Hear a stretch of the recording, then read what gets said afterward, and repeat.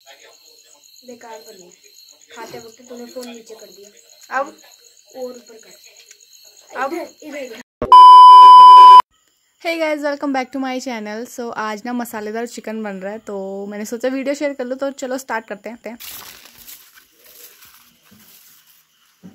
ये मैंने क्या कर दिया? घुमाने के चक्कर में शिट तो गाइज़ हमने प्याज काट लिया है एंड लहसन भी काट लिया एंड यहाँ पे चूल्हे में बना रहे हैं हम क्योंकि गाँव में चूल्हे में ही बनता सब कुछ ना।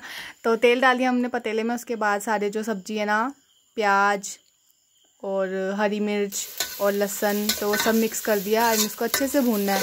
चिकन चंगेजी वो बना रहे हो? तो ये जो मसाला है अच्छे से भुन गया है ना तो अब इसमें हमें चिकन डालना है। पहले टमाटर नहीं डालना पहले हमें चिकन डालना है।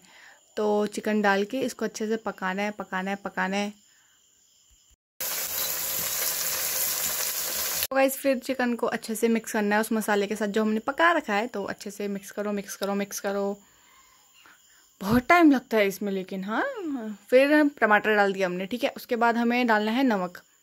नमक डालने के बाद थोड़ा सा वो पानी छोड़ेगा, उसके बाद हमें सारे मसाले डाल देने हैं। तो नमक डाल दिया, फिर हल्दी, लाल मिर्च, गरम मसाला, धनिया पाउडर एंड चिकन मसाला, जो भी सब कुछ, जो मसाले होते हैं, वो डाल दो।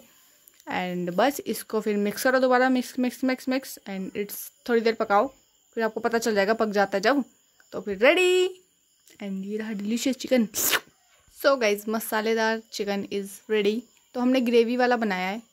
आप कैसा भी बना सकते हो, आप सूखा बना सकते हो। और ये पता नहीं कौन सी हड्डी है छोटी सी टंगड़ी।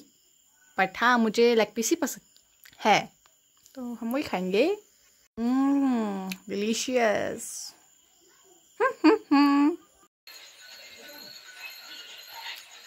गाइस वीडियो को लाइक कर देना, चैनल को सब्सक्राइब कर देना and thank you for watching next video तब तक लिए बाय बाय टेक केयर